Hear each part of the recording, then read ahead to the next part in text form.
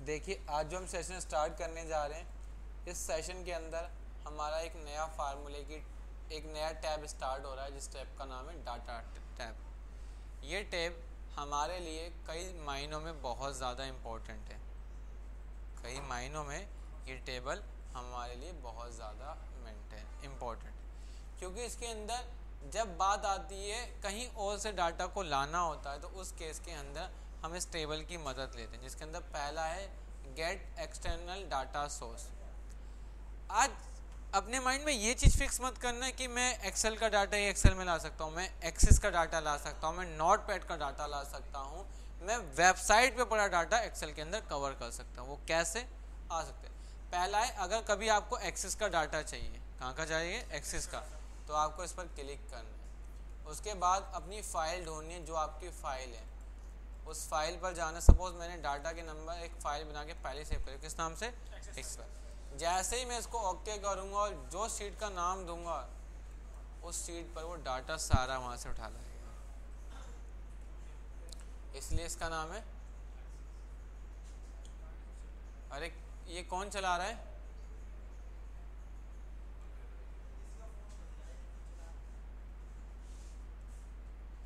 ठीक है तो पहला क्या है आपका? Get external data source clear है? पहला क्या नाम है? गेट एक्सटर्नल तो आप एक्सेस का डाटा यहाँ से ला सकते हैं। दूसरा होता है वेबसाइट वेबसाइट का डाटा जस्ट लाइक like, हमें किसी वेबसाइट का डाटा लाना है। जैसे मैंने इंडियन करेंसी एक्सचेंज रेट ये पूरा डाटा वहीं उठा के लाना है। वहाँ पर इस डाटा को पूरा लेके जाना है ताकि मुझे हर मिनट में रेट पता चलते रहें। क्या पता चलते रहें? रेट पता चलते रहें। तो मैं क्या करूँगा? जैसे हर मिनट में रेट चेंज होते रहते हैं ना? बिल्कुल चेंज होगी सर। आ जाए। तो मैं कहाँ जाऊँगा? वेबसाइट पर जाऊँगा। मैं यहाँ पर क्या करूँगा? जो भी मेरा डाटा है, मैं उस पर इंटर मार दूँगा। और इस पर यस कीजिए।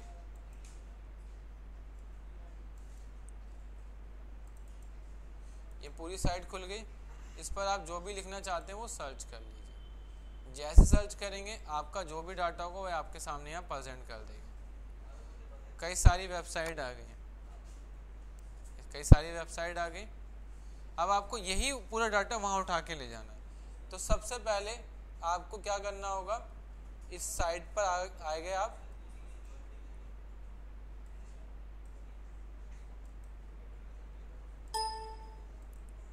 आपको ना यहीं टाइप कर देना ठीक है? ये साइड आ गई उस पर मत करिएगा। दे रहा रुक जा। ये रहा करेंसी एक्सचेंज टेबल इस पर क्लिक कर देना है। उसके बाद इस एरो पर क्लिक कर देना है। जैसे एरो पर क्लिक करोगे, सारे जो भी निशान होंगे आ जाएँगे और फिर इंपोर्ट पर क्लिक करो जैसे इंपोर्ट पर क्लिक करोगे, उससे जो भी डाटा होगा उठकर यहाँ आ जाएगा। जैसे लाइक दोबारा समझाता हूँ वेब पर गए। यहाँ पर आइए, कोई डाटा नहीं सपोज़ हम कह देते हैं एक्सेल डाटा चाहिए। हमारी वेबसाइट तो कोई है नहीं फ़िलहाल तो हमें एक्सेल का डाटा चाहिए। तो हमने यहाँ लिखा एक तो बहुत परेशान करता है। डाटा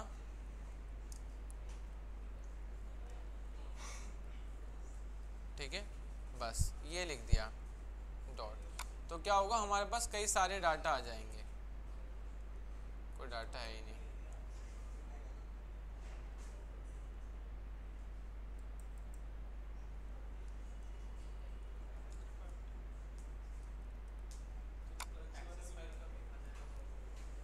एक्सेस फ़ाइल का तो हो गया हमारा।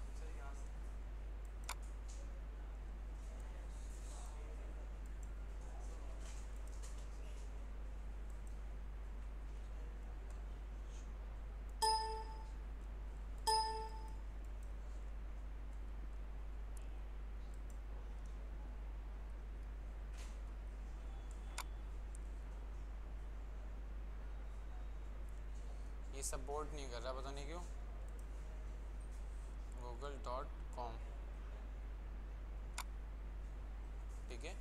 ये सपोर्ट हो गया। अब हम यहाँ करेंसी को पेस्ट कर देते हैं। ठीक है? ये करेंसी आ गया।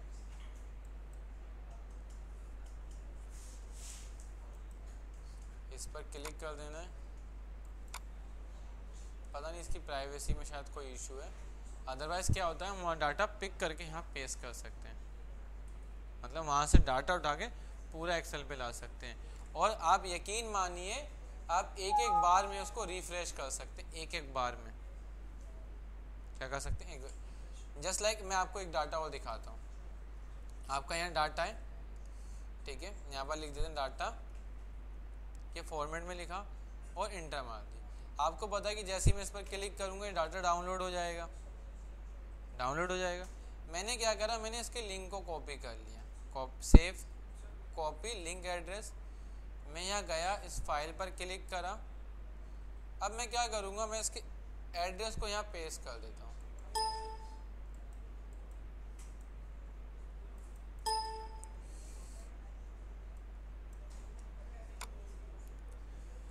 जैसे ही करो, देखो फ़ाइल सेव के लिए पूछ रहा है। सेव कर लो तो ये डायरेक्ट आपके उस वाली फ़ाइल में ओपन हो जाएगी। ये सपोर्ट ही नहीं कर रहा है। तो वेब से भी आप डाटा ला सकते हैं। 92 ठीक है? तो इस तरीके से ला सकते हैं। इसके बाद तीसरा होता है टेक्स्ट फ़ाइल का डाटा अगर आपको किसी को टेक्स्ट फ़ाइल का डाटा लाना है तो उसके लिए कुछ नहीं करना। कहाँ क्लिक करना है? फ्रॉम टैक्स पर क्लिक करना है। जहाँ वो सीट थी, उस सीट के नाम को सिलेक्ट करना है। कहाँ पर? एक्सेल के अंदर डाटा टैब के अंदर कौन सा? नोट पैड फ़ाइल तो जो भी नोट पैड फ़ाइल का डाटा होगा, वो आपको इस तरीके से शो कर देगा। ठीक है? तो आपको कभी नोट पैड का डाटा लाना हो तो नोट पैड का डाटा भी आप आराम से ला सकते हैं। लेकिन एक चीज़ हमेशा याद रखना नोट पैड के अंदर आपने जो नेम लिखा, वो टैब के साथ लिखा होना चाहिए। रोल नंबर ठीक है? और टैब क्लास जैसे रोल नाम ए इंटर मारोगे तो वो रो का काम करता है। टैब मारोगे तो किसका काम करता है? वो कॉलम का काम करता है।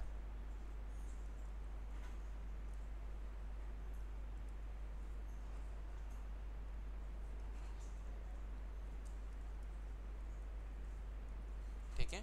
इसको सेव एस कर दूँ। डेस्कटॉप रख दूँ।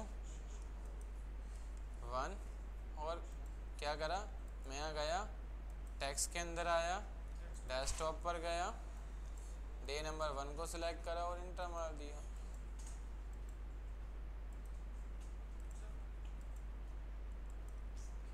क्लियर? आ जाइए। इसके बाद हमारे पास एक और नया डाटा आता है, जिसका नाम होता है फ्रॉम अदर सोर्स डाटाबेस। क्या आता है? From other source.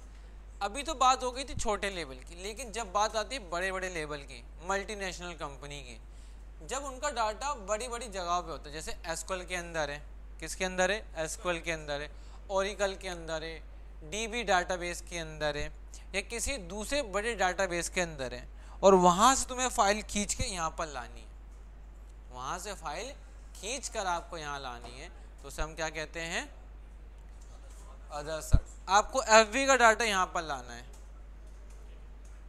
आपका व्हाट्सअप का डाटा यहाँ लाना है। आपको इंस्टाग्राम का डाटा यहाँ लाना है। तो उसमें किसकी मदद लोगे? अदर सोर्स क्लियर है? कोई डाउट उसके अंदर?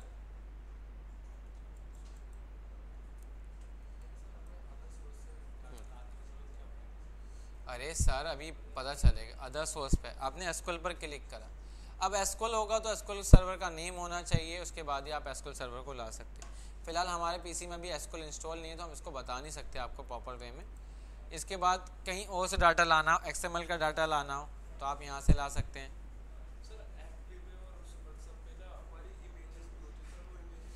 आ जाती लेकिन वो फिर प्रॉपर वे में नहीं आती। डाटा तो उठ के आ जाता है। एन की नल की एरर दे देगा, या किसी और की एरर दे देगा। क्लियर एक होता है from other data connection wizard किसी का कनेक्शन बनाना है जस्ट लाइक एसक्यूएल सर्वर का बनाना है या किसी दूसरे डाटाबेस का बनाना है तो आप यहाँ से भी बना सकते हैं। लेकिन इसके लिए फिर आपको अलग लैंग्वेज मतलब हाई लेवल की डाटाबेस चाहिए होगा इसके बाद जो सबसे नीचे आता है, वो आता है फ्रॉम माइक्रोसॉफ्ट क्वेरी ये बहुत ज़्यादा इम्पोर्टेंट अब आपने इन्होंने क्वेश्चन मुझसे कर दिया कि, सर, हमारी नीड क्या पड़ी? वहाँ से डाटा लाने की। सपोज़ मान लो मैं हमारी एक कंपनी है, प्राइवेट लिमिटेड फर्म है। राहुल सेल का काम संभालते हैं, अभिषेक परचेज का संभालते हैं, राजा राम रिसीव का संभालते हैं और रवि जस्ट लाइक प्रोडक्शन संभालते हैं। रवि को मैं प्रोडक्शन दिखाऊँगा, राहुल को सेल दिखाऊँगा, अभिषेक को परचेज दिखाऊँगा, राजा राम को पेमेंट दिखाऊँगा। तो मैं सारा डाटा इनको नहीं दूँगा ना। मेरी एक सुपर फ़ाइल है। मेरी क्या है? सुपर फ़ाइल मैंने क्या करा? अब सुपर फ़ाइल से मुझे फ़ाइल उठा के लाना है डाटा लेकिन यूज़र वाइज मैंने क्या करा? मैंने एक्सेल पे क्लिक करा। उसके बाद मैंने करा इसको ओके कह रहा फ़ाइल कहाँ पड़ी है? तो मैंने बताया फ़ाइल कहाँ पड़ी है? डी ड्राइव में। डी ड्राइव में किसके अंदर? शाहरुख के अंदर। किसके अंदर? नॉर्मल एक्सेल के अंदर। किसके अंदर? डाटा के अंदर। कौन सी फ़ाइल पड़ी है? एक्सेल नाम की। और मैंने इसे क्या दिया? ओके जैसे ही करोगे तो कोई टेबल उसने नहीं दिखाई। क्यों? क्योंकि आपको फ़र्स्ट टाइम ऑप्शन पर जाकर सिस्टम पर क्लिक करना। जैसे ही दिखाया तो शीट में दो डाटा है। एक डाटा और एक शीट वन के नाम से। मैंने कहा डाटा नाम की सारी चीज़, उसके अंदर full name hire date salary सब है। मैंने बोला नेक्स्ट नेम में कुछ चाहिए? तो यहाँ फ़िल्टर भी लगा सकते हैं। मैंने बोला नेक्स्ट शॉर्टिंग कुछ नहीं चाहिए। कुछ नहीं। मैंने कहा रिटर्न जैसे ही मैंने रिटर्न करा तो वहाँ से डाटा सारा उठ के आ गया। क्या उठ के आ गया? सारा डाटा उठ के आ गया। ठीक है जस्ट लाइक वहाँ से उठ लेकिन मुझे दोबारा डाटा चाहिए। क्या चाहिए? डाटा दोबारा चाहिए। मैं यहाँ गया डाटा के अंदर फ्रॉम डाटा के अंदर आया। Query excel okay drive D normal excel आ गई। ऑप्शन पे क्लिक करके सिस्टम क्लिक कर देना। ओके डाटा को सिलेक्ट कर देना नेक्स्ट अब मैंने बोला डिपार्टमेंट जो रहेगा, वो डिपार्टमेंट रहेगा यहाँ से अकाउंटिंग डिपार्टमेंट नेक्स्ट नेक्स्ट और फिनिश जैसे ही करा तो वहाँ से अकाउंटिंग डिपार्टमेंट उठ के मेरे सामने। लेकिन मैं चाहता हूँ डिपार्टमेंट का नाम मैं यहाँ लिख दूँ। कहाँ पर? यहाँ पर। तो ये डाटा अपने आप चेंज होता रहे। क्या होता रहे? अपने आप चेंज होता रहे तो मैंने क्या करा, जो मैंने ये लगाई थी ना, इसके लिए मैं डिज़ाइन पर आऊँगा। डिज़ाइन पे जैसे ही आऊँगा तो यहाँ प्रॉपर्टी मिलेगी। प्रॉपर्टीज़ के अंदर मत जाइए, आप आइए डाटा के अंदर। डाटा के अंदर जाइए कनेक्शन कनेक्शन पे आओगे तो कनेक्शन कौन सा है? दूसरा कनेक्शन क्योंकि पहला कनेक्शन तो उस दूसरी शीट पे लग गया था। इसके बाद कहाँ जाओगे आप? प्रॉपर्टीज़ जैसी प्रॉपर्टीज़ में आए तो आपने कहा, पहला तो ऑप्शन है अनेबल बैकग्राउंड रिफ्रेश वो अपने आप रिफ्रेश करता रहे। सपोज़ उस एक्सेल शीट में डाटा अपडेट हो, यहाँ भी अपडेट हो जाए। बैक हैंड में हो, हम ना करें। दूसरा होता है refresh every minute refresh data when opening the file जब डाटा फ़ाइल ओपन हो तो अपने आप ही। ठीक है? डेफिनेशन के अंदर आओगे तो यहाँ पर एसक्यूएल क्वारी लगी हुई है। क्या लगी हुई है? एसक्यूएल क्वेरी और इक्वल टू क्या बोल दिया इसने? अकाउंट तो मैं क्या करूँगा, इसको हटा दूँगा और एक क्वेश्चन मार्क टाइप कर दूँगा। और जैसे ही सेव करूँगा तो ये मुझसे पैरामीटर पूछेगा। तो मैं बोल दूँगा, ये वैल्यू जहाँ लिखी हो। उसके बाद से मैं क्या कर दूँगा, इसको सेव कर दूँगा।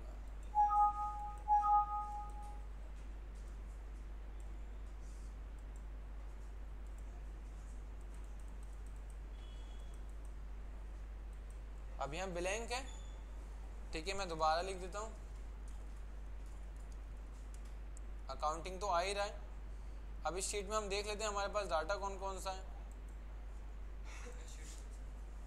ठीक है, आ जाइए। आर एन डी डिपार्टमेंट है हमारे पास। तो हम क्या लिख देते हैं? आर एन डी अब एक छोटी सी मिस्टेक है, कहीं उसने गलती कर दी हमने। नहीं नहीं, वो तो ठीक है तुम्हारी।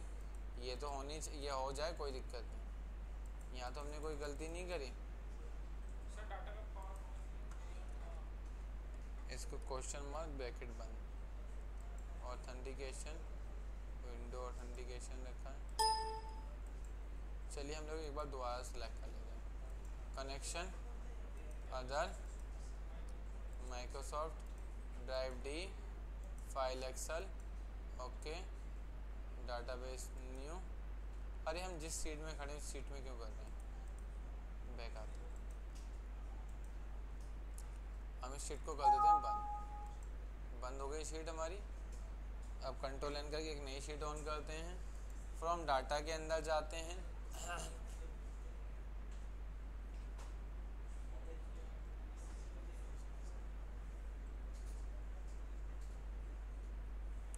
Excel okay. Drive D, Excel. Okay. D drive. Okay. Department is equal to accounting. Next next, finish और ओके। तो ये डाटा उठ के आ गया। फिर हम लोग कहाँ जाएँगे? प्रॉपर्टीज़। डाटा प्रॉपर्टीज़ पे भी आ सकते हैं। Connection, properties. डिफाइंड डेफिनेशन के अंदर। यहाँ से हटा के क्या टाइप कर देंगे? क्वेश्चन मार्क टाइप कर देंगे। इसको सेव करेंगे। लिस्ट के अंदर हम इसका पैरामीटर दे देंगे।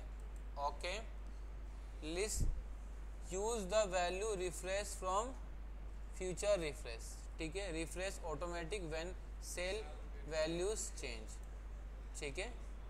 आ गया चेंज हो गया। हमारा डिपार्टमेंट एम था ना? हम लिखेंगे आर एंड डी हमने यहाँ लिखा अकाउंटिंग डिपार्टमेंट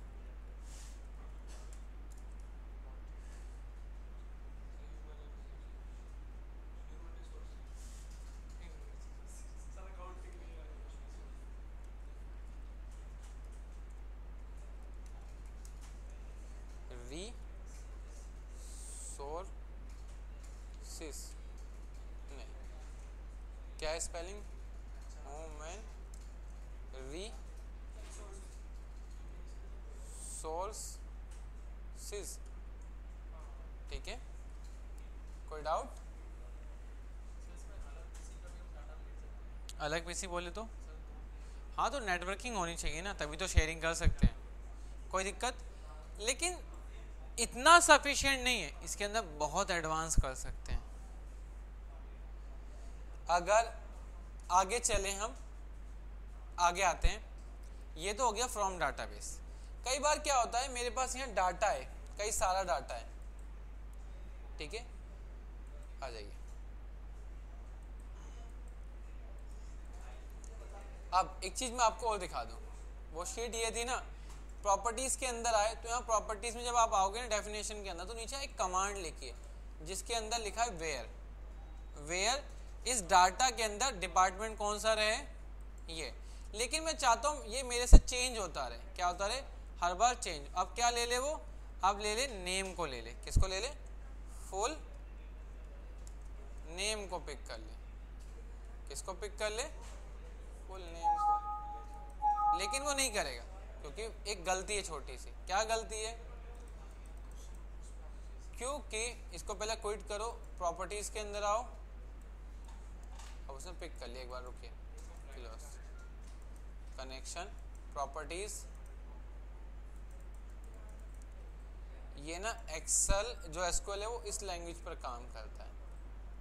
मतलब किसी वर्ड से पहले आपको ये लगाना पड़ता है। जैसे आपको टैक्स में इन्वर्टेड कॉमा लगाना पड़ता है, इसके अंदर आपको ये लगाना पड़ता है। ठीक है? सोनू नाम था उसमें। क्लियर मतलब आप हर बार चेंज कर सकते ठीक है, ये तो हो गया फ्रॉम अदर डाटा अब आती है एसक्यूएल क्वेरी जब आप डाटा कहीं से उठाकर ला रहे थे ना तो आपके पास कई सारे ऑप्शन होते हैं. आपने इसे ओके करा ड्राइव डी करा एक्सेल सेलेक्ट करा और ऑन कर दिया. आपने इसको ऑल सेलेक्ट करा. अब इसमें ज़रूरी नहीं आप सारा ही लाओ. आप इस डाटा में से फ़िल्टर भी कर सकते हो. मुझे ये नहीं चाहिए, ये चला जाए. बोनस नहीं चाहिए, ये चला जाए. डिपार्टमेंट नहीं चाहिए, ये चला जाए. ये नहीं चाहिए, ये चाहिए, ये. तो आप इस सबको रिमूव भी कर सकते हो, सबको ला भी सकते हैं. किसके लिए? इसके साथ। नेक्स्ट उसके बाद फ़िल्टर भी लगा सकते हैं, ये भी कर सकते हैं। लेकिन एक होता है return data to Microsoft Office Excel एक होता है व्यू डाटा और एड क्वायरी एंड माइक्रोसॉफ्ट जैसे आप इस पर क्लिक करोगे ना, आपकी एक अलग विंडो खुल के आ जाएगी। क्या खुल के आ जाएगी? अलग विंडो अब आप एसक्यूएल पर क्लिक करोगे तो इसकी जो क्वायरी है वो इस तरीके से लिखी हुई थी। आज सुबह जब आप क्लास ले रहे थे तो इसकी क्वायरी की बात चल रही थी। इस तरीके से आपको क्वायरी लिखनी होती है। क्या करनी होती है? आप इस तरीके से आपको क्वायरी लिखनी होती है। इस तरीके से।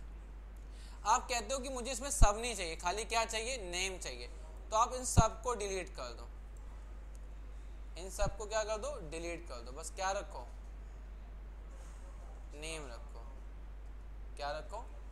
नेम रखो। तो आपको क्या शो करेगा नेम शो करेगा। क्लियर और उसके बाद फ़ाइल पर आकर नीचे आपको टॉपिक मिलता है return data to Microsoft Excel और ओके करो तो नेम उठ के आ जाएगा क्लियर कल मैं कुछ एसक्यूएल क्वायरी आपको सिखाऊँगा अलग से, जो मैंने इस शीट के अंदर लगा रखी है। जैसे वेयर की क्वायरी कब यूज़ करेंगे डिस्टिंग की कब यूज़ करेंगे यूनियन की कब ऑन यूज़ करेंगे यूनियन ऑल की कब यूज़ करेंगे, ठीक है? रिप्लेस डाटा की कब यूज़ करेंगे, ठीक है? रिलेशनशिप की कब यूज़ करेंगे, ये मैं आपको कल बताऊँगा क्वायरी ठीक है? कि जब डाटा उठ के तो आए, लेकिन फ़िल्टर होके उठ के आए तो वो आप कब सीखेंगे?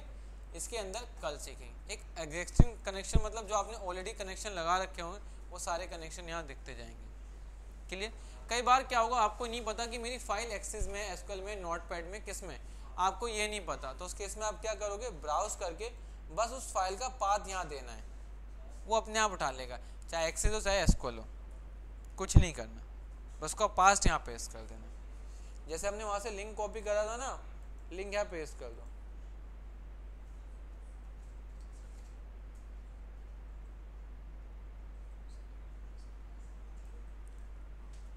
ओपन करिए। देखिए डाटा उठ के आ रहा है।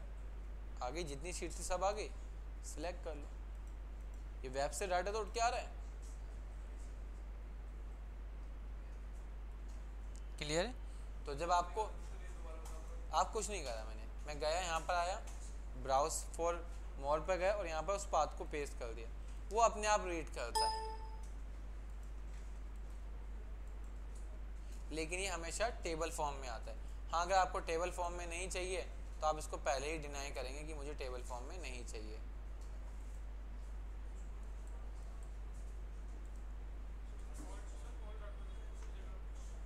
और एक बार में एक ही शीट आती, सारी शीट नहीं आती। ये टेबल में होता है। एक होता है टी पाइवर टेबल रिपोर्ट एक pivot table chart and pivot table report तो आप इसको किसी और शीट पे ले जाइए।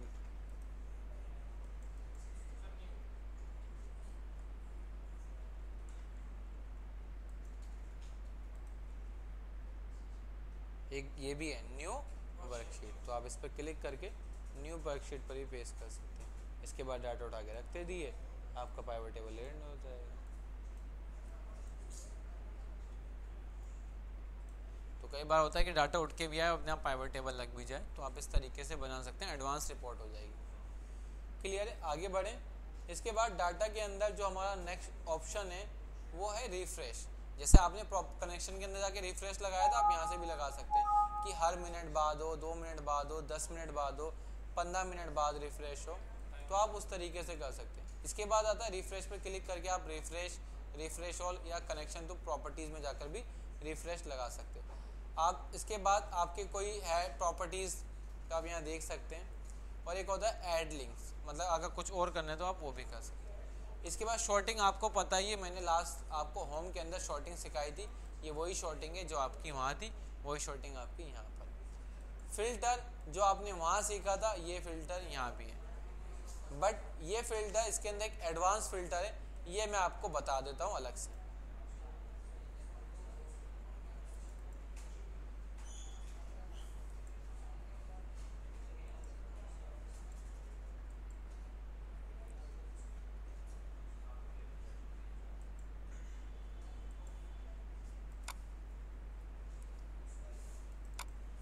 फार्मूला के अंदर हमारे पास डाटाबेस फार्मूला था मुझे फ़िल्टर निकालना है, लेकिन एक कंडीशन का नहीं, दो कंडीशन का नहीं, तीन कंडीशन का फ़िल्टर लगाना है। तो कुछ नहीं करना एडवांस फ़िल्टर पे क्लिक करना लिस्ट रेंज ठीक है ना? लिस्ट रेंज है ना? ये पूरी सिलेक्ट हो गई। क्राइटेरिया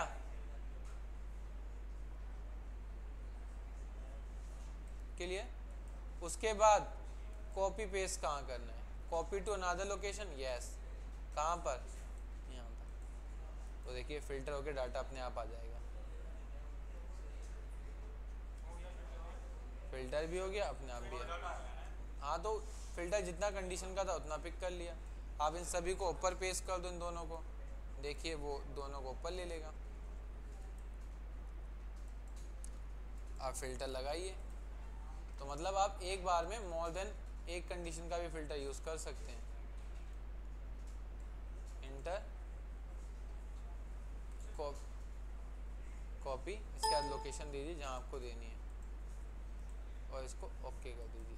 क्लियर है? तो फ़िल्टर होके अपने आप फ़िल्टर भी होगा कॉपी होके पेस्ट हो जाएगा। लेकिन इसमें एक छोटी सी सबसे बड़ी जो कमी है ना, वो कमी ये है, ये कभी भी दूसरी शीट पर नहीं जाता।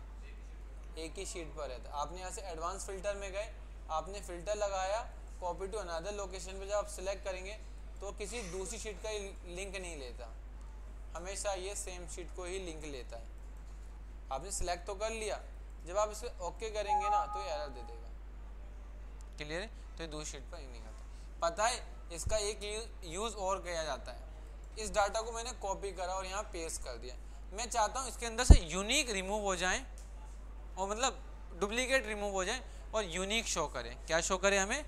यूनिक शो करे। तो आप कहाँ पर आओगे? आप आओगे एडवांस बस यूनिक रिकॉर्ड ओनली जैसे ही करोगे यूनिक शो करें अब इसमें एक छोटी सी प्रॉब्लम ये हाँ। कोई शीट पे पेस्ट करते हैं अरे, वो ऑलरेडी फ़िल्टर लगा हुआ इसमें। एडवांस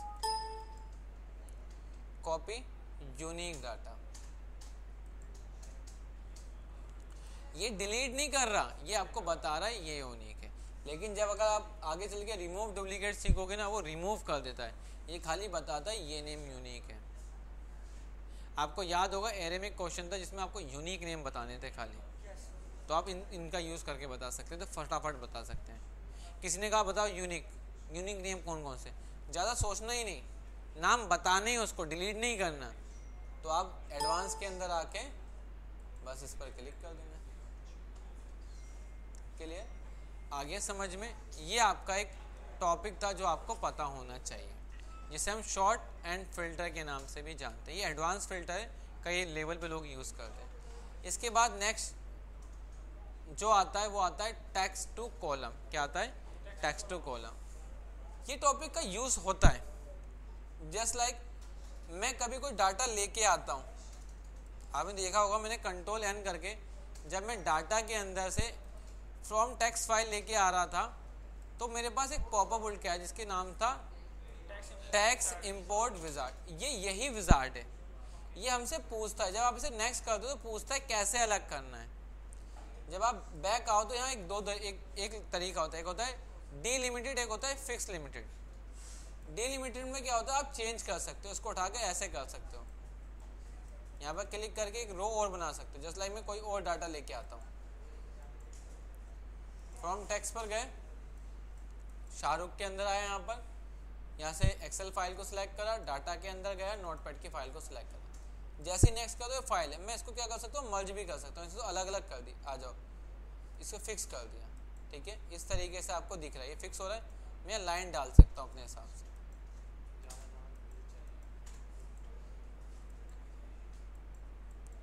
तो मैं अपने हिसाब से फिक्स भी कर सकता हूँ क्लियर तो एक होता है डीलिमिटेड जो अपने हिसाब से स्पेस के हिसाब से उसको अलग कर लेता है। स्पेस के हिसाब से या कोई रियल कंडीशन के हिसाब से अलग कर लेता है। जब आपने डाटा उठाया तो उसने आपसे पूछा था नोट पैड का डाटा डीलिमिटेड डीलिमिटेड में वो किसको कैप्चर कर रहा है? वो स्पेस को काउंट कर रहा है। किसको काउंट कर रहा है? टैप को काउंट कर देखो यहाँ किसको काउंट कर रहा है?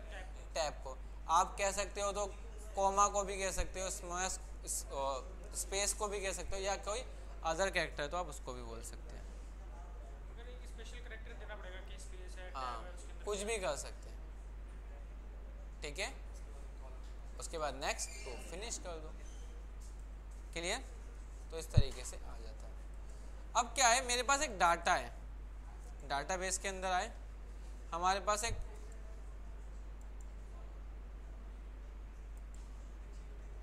डाटा टूल्स के अंदर एक डाटा है। जिसमें मेरे पास एक एड्रेस है, जिसमें आशीष तलवार, उनका मोबाइल नंबर उनकी मेल आईडी सब है। मुझे इसको कॉलम में डिस्ट्रीब्यूट करना है। लेकिन इसके आगे देखो एक कॉमा कॉमा है। तो मैं टेक्स्ट टू कॉलम में आऊँगा फिक्स नहीं करके डीलिमिटेड करूँगा। अब टैब तो है नहीं मेरे पास स्पेशल कैरेक्टर में क्या यूज़ कर लूँगा? तो कॉमा यूज़ कर लो। नेक्स्ट और टू फिनिश क्लियर आ गया। तो ये अलग अलग कॉलम में डिस्ट्रीब्यूट क्लियर अब क्या है, कई बार क्या होता है, आपके पास डेट है, लेकिन वो डेट सही फॉर्मेट में नहीं है। इसको सही फॉर्मेट में कन्वर्ट करने के लिए क्या करो सिलेक्ट करो टेक्स्ट टू कॉलम करो नेक्स्ट करो, यहाँ से इसको डेट फॉर्मेट में कर दो और फिनिश तो वो अपने आप डेट फॉर्मेट में कर देगा। ये डेट फॉर्मेट में नहीं है, इसे डेट फॉर्मेट में कन्वर्ट करना है। कई सारे फॉर्मेट है। Text to column next next date और इसको फिनिश कर दो।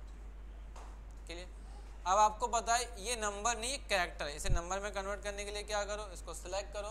टेक्स्ट टू कॉलम में आओ। नेक्स्ट नेक्स्ट बस खाली फिनिश कर दो। कुछ करो इनमें तो टेक्स्ट को किसमें कन्वर्ट कर देगा? नंबर में। क्लियर तो ये, पहले टेक्स्ट में था क्योंकि एक सिंगल कोड लगा हुआ था आगे। और ये आपको मेंशन भी करता है कि नंबर नहीं, एक टैक्स है।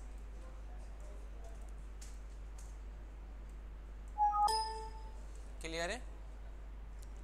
इसके बाद आता है रिमूव डुप्लीकेट क्या आता है? रिमूव डुप्लीकेट जो काम क्या करता है? डुप्लीकेट को रिमूव कर देता है। क्लियर है? तो इसमें से क्या कर देगा वो? रिमूव लेकिन एक चीज़ मैं आपको और बताना चाहता हूँ। क्या चीज़ है वो? जब आप किसी को खोलते हो जस्ट लाइक like मैंने एक्सेल डाटा खोला, इनमें से मुझे रिमूव करना है, लेकिन डुप्लीकेट को रिमूव करना। नेम को नहीं, ये को डुप्लीकेट करना जो पूरे डाटा में एक जैसा है। तो मैं पूरे डाटा को सिलेक्ट करूँगा। क्या करूँगा? पूरे डाटा को सिलेक्ट करूँगा।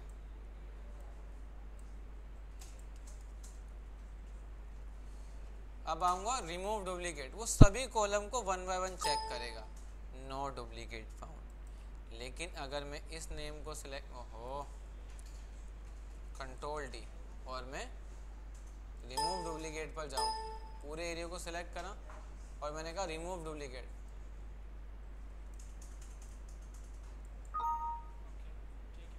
मतलब सभी को मैच करेगा, तभी वो डुप्लीकेट को डिलीट करेगा। क्लियर है? ये आपका टॉपिक है, जो मुझे आज कराना था। बाकी जो चीज़ें रह गई, वो मैं कल आपके साथ डिस्कशन करूँगा, ताकि मैं आपको अलग से कुछ और बता सकूँ